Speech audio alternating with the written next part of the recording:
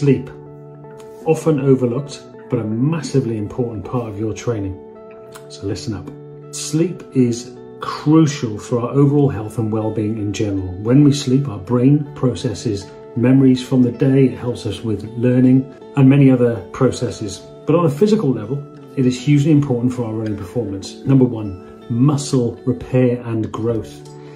All of that running that you're doing, all of that fantastic training that you're putting the heavy miles in and all of that kind of stuff, running up and down hills, you need to be able to recover properly from. We talk about recovery all the time. And one of the best ways to recover is by sleeping as much as you possibly can.